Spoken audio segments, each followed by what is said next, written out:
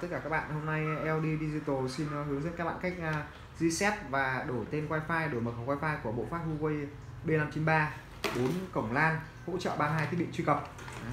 Thì uh, các bạn cắm nguồn và khởi động thiết bị lên. Uh, khi mà tất cả các đèn đã khởi động xong thì các bạn lưu ý là nó cái nút reset nó nằm ở bên hông bên trái của thiết bị thì chúng ta tiến hành ném cái tăm hoặc cái gì đó chúng ta chọc vào đây và chờ cho khi nào mà tất cả các đèn nó tắt chỉ còn đèn nguồn sáng thôi thì chúng ta nhả tay ra. Đấy. và chờ cho thiết bị khởi động lại. Nó sẽ mất khoảng 2 phút để uh, thiết bị uh, khởi động lại. Khi mà thiết bị khởi động uh, xong thì cái tên wifi và mật khẩu wifi nó sẽ trở về cái tên mặc định của nó như ở đây. Đấy. Đây là tên wifi mặc định mật khẩu mặc định của thiết bị. Rồi thiết bị đã đang khởi động. Chúng ta chờ một chút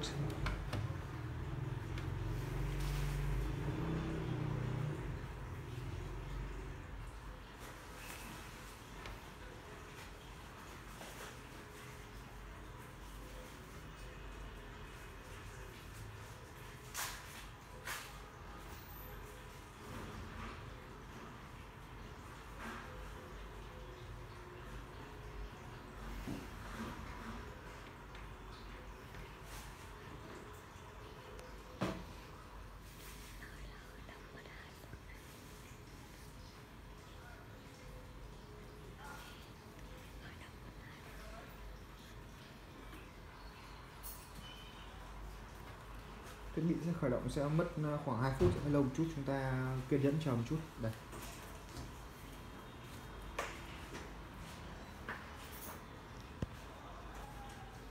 Rồi, ok. Vậy là khi mà tất cả các đèn đã sáng thì nó như là thiết bị đang khởi động thành công, thì chúng ta tiến hành ờ, kết nối đến wifi, đổi ờ, tên wifi và đổi mật khẩu. Chúng ta tìm wifi. Thì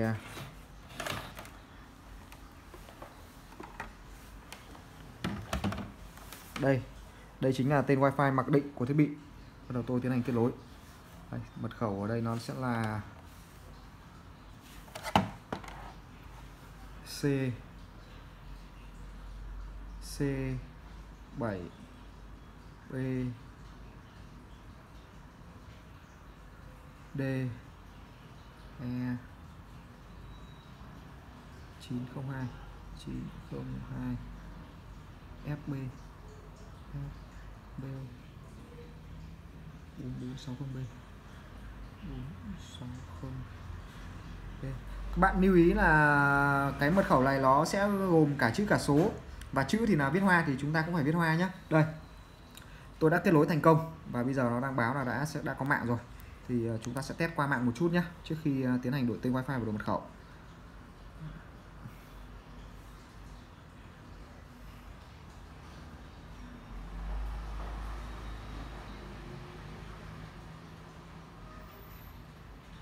Thì à, cái speed test này thì nó chỉ là mang tính chất tương đối thôi. Bởi vì là nó sẽ phụ thuộc vào mạng từng khu vực, cho nên là chúng ta chỉ để tham khảo thôi. Ok, ở đây tôi đã test nó lên được khoảng hơn 20 mê. Nghĩa là nó đã chuẩn 4G và tương đương với mạng cáp quang. Rồi.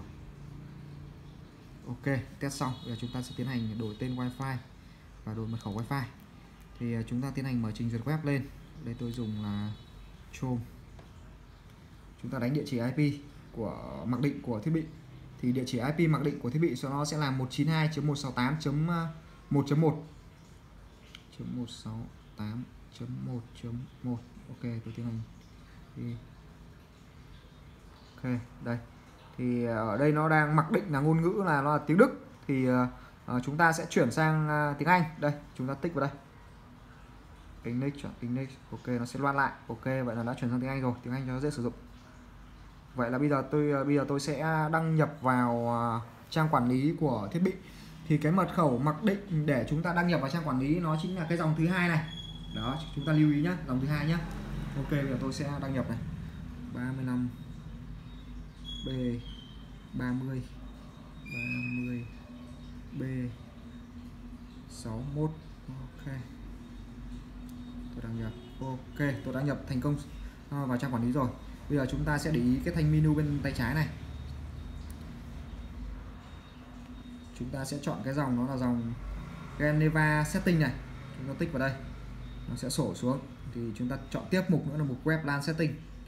Web LAN setting. Ok chờ nó loát ok. Nó đã loát ra thì chúng ta để ý là đây bên uh, tay phải đây chúng ta đang có hai cái thẻ. Thì chúng ta để ý cái thẻ thứ hai này thẻ interface profile này, cái dòng SSID này, chính là cái dòng tên tên wifi của thiết bị thì chúng ta tiến hành đổi. Ở đây ta, tôi sẽ nhập tên wifi mới. Okay.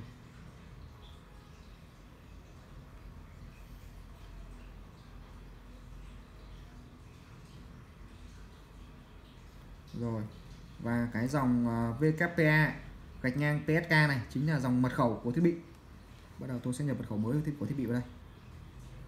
1 2 3 4 5 5 6 7 8 9 ok. Rồi chúng ta ấn vào submit.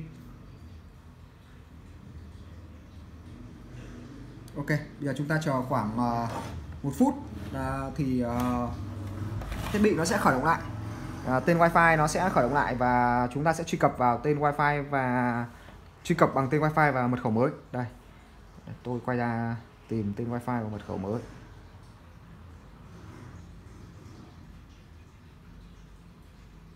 Đây.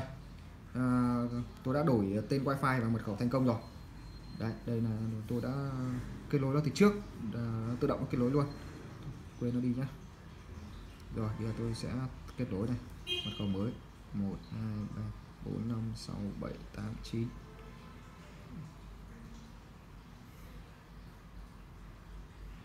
Ok kết nối thành công. Chúng ta thử mở trên cái web này. Thử vào web xem.